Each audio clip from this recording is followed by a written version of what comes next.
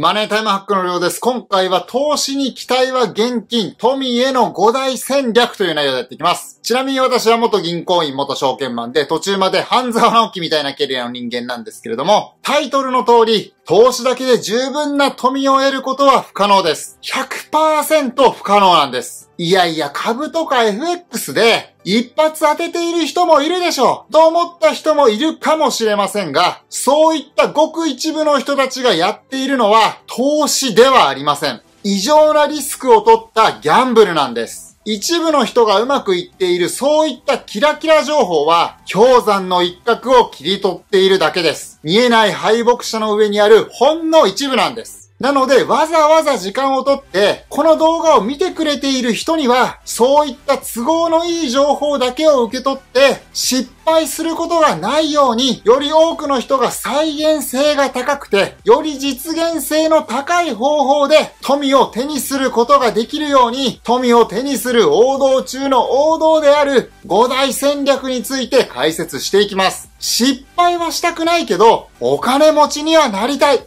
というわがままな人は、ぜひ最後まで見て持って帰っていってください。では早速行きましょう。投資を始めると気づいてしまうこと、富を手にする5大戦略、この2つでやっていきます。まず投資を始めると気づいてしまうことですが、これはタイトルで答えを言っていますが、投資を始めると投資をやったところでお金が全然増えない。投資意味ないじゃんと誰もが思います。頑張って貯めた100万円を投資しても、1年でたったの4、5万円程度。4、5万円だけじゃ人生は好転しないですよね。そうするとありがちなのが、もっといい利回りの投資をしなきゃと躍起になって努力したとしても、金融投資の世界のスタンダードを大きく上回る投資案件なんてほとんどないので、投資に見せかけたギャンブルをしてしまったり、うまい詐欺に騙されたりして、結局負けてしまうんです。なので、頭に叩き込んでおいてほしいのは、投資の世界に期待するなということです。これだけなんです。なので、富を得るためには、投資だけじゃダメなんです。ここから投資よりも重要な富を得るための5大戦略について順を追って解説していきます。ではここで一つお知らせです。YouTube の短い動画では話しきれないお金についての限定動画を LINE の登録でプレゼント中ですので気になる方は概要欄から覗いてみてください。では次に富を手にする5大戦略ですが富を手にする五大戦略その1。その1は借金を撲滅することです。借金の撲滅。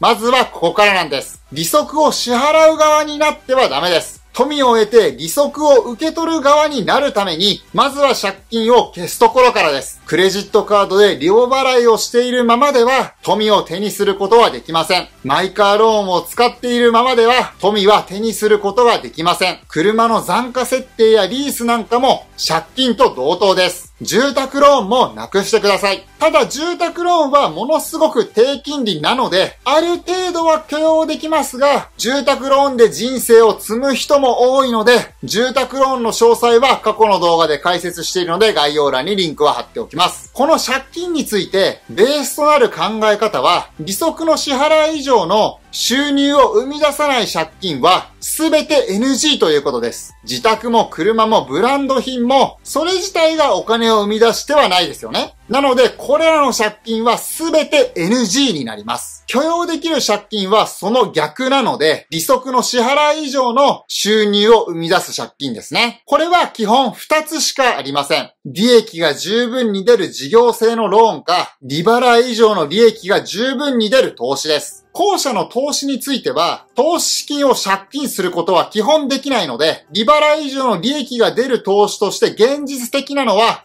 収益不動産くらいですね。じゃあ、不動産投資かと思った人はいるかもしれませんが、安易な気持ちで始めるのはやめましょう。簡単な世界ではありません。世の中に出回っている一般層の人たちがアプローチできる広告などで見かける不動産投資の話は肌感覚ですが98%ぐらいは儲かりません。しっかり勉強して物件をしっかり吟味し、しっかりと投資判断ができるようになって初めて勝てるようになる世界です。本気で覚悟がある人は、もふもふ不動産さんの不動産投資の再生リストを全部見て、不動産投資の本を最低20冊は読んで、投資物件を最低100件はリサーチして、これでやっとスタートラインに立てるレベルです。それくらい楽な世界ではないので、まずは地に足をつけて、借金を撲滅していくところからやっていきましょう。富を手にする5大戦略その2。その2は倹約することです。これは過去の動画で何度か言っています。倹約についての詳細は過去の動画で解説しているので概要欄にリンクを貼っておきます。この倹約は侮ってはいけません。誰にもできて即効性のあるお金を増やす最も重要な手法の一つです。投資で稼いだ10万円も、働いて稼いだ10万円も、倹約で生み出した10万円と同じ価値です。時給2000円なら50時間の労働です。年率5%の運用なら、投資元本200万円分です。そう考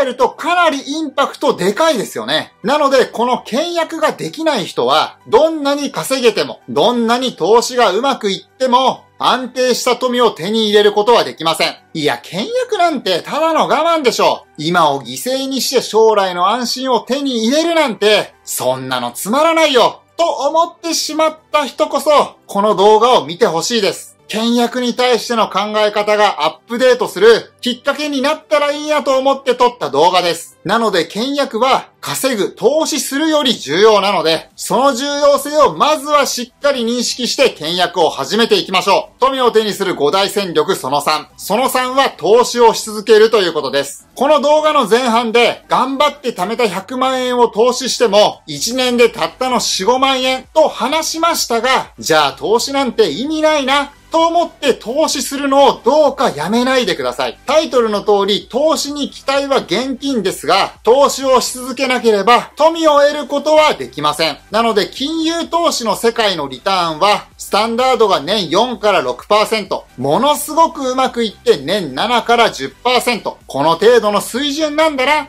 と期待はしすぎずに、けど投資をし続ける。この継続力が全てなんです。この投資をし続けることで得られる福利のパワーは凄まじいんです。このように単利と福利で長期間で結果が運命の差になっていくんですね。この福利についての説明は知っている人が多いので割愛はしますが、詳しく知りたいという人は過去の動画で詳細を解説しているので、これも概要欄にリンクを載せておきます。ということで、いついかなる時も、スタンダードな投資をし続ける。地味ですが、これが重要なんです。富を手にする五大戦力その4。その4は種銭を稼ぐことです。これは自分の体で稼ぐこと。これもやっぱり重要です。倹約にも限界がありますし、ほんの少しの投資元本では、いつまで経ってもお金は増えてくれません。生活費以上のお金を稼ぎ続けなければ、投資をし続けることはできません。なので、種銭を稼ぐための速攻性のあるエンジンである人的資本の効率をまずは高めていきましょう。昨日よりも1円でも多く稼ぐ。そして毎日稼ぎ続ける。泥臭くいくしかありません。もちろん人それぞれ目指す水準は違うとは思いますが、楽して誰でも簡単という世界はありませんので、昨日の自分と比べて稼げるようになるために努力をする。これはこの動画を見てくれている人全員に共通することだと思います。そしてこの種銭を稼ぐは、富を手にする5大戦略の中で唯一の特徴があります。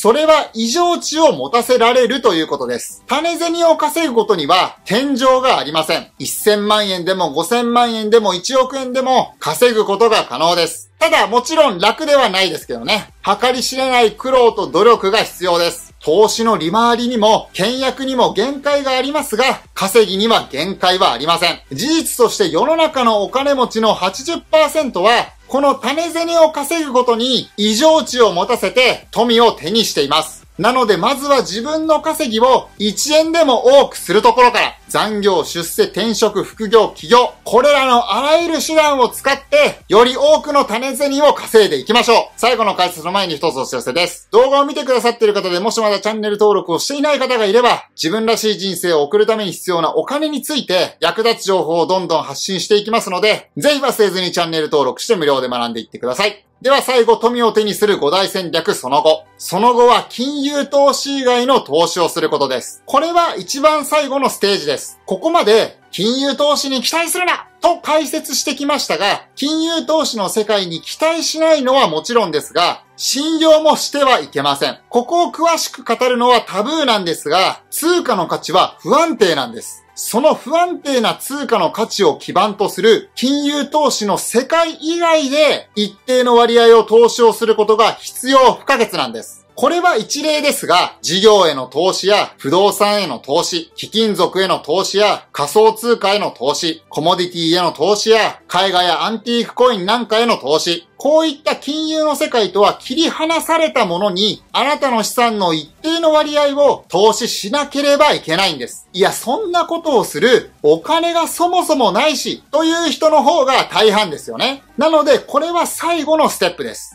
最初は考える必要はほとんどありません。これはざっくりとした目安ですが、金融資産が5000万円程度になったら、考え始めるステージですね。なので最初の4つの戦略を実践すれば、最初は OK ですが、この最後の戦略も必ず頭の片隅に置いておいてもらって、いつか必要になったタイミングの時に実践してもらえれば、あなたの富がより強固になっていくことをお約束します。なので投資に期待せずに、すべての戦略を実践して、長期戦で富を築いていきましょう。大事な知識やより記憶に定着するようにおさらいしていきます。投資に期待は現金、富への5大戦略という内容でやってきました。投資は重要ですが、投資だけでは富を手にすることはできません。この5大戦略すべてが重要なんです。5大戦略1つ目は、借金を撲滅することです。金利の支払い以上の収入を生み出さないものは NG です。5大戦略2つ目は、倹約することです。倹約できない人は、安定した富を築くことが一生できません。5大戦略その3は、投資をし続けることです。期待は NG ですが、投資を続けないのも NG です。5大戦略その4は、種銭を稼ぐことです。昨日より1円でも多く稼ぎ続けましょう。5大戦略その5は、金融投資以外の投資をすることです。資産を防衛するための大事な戦略です。この5つの戦略すべてが大事です。なので、この5つを意識して、長期戦で富を築いていきましょう。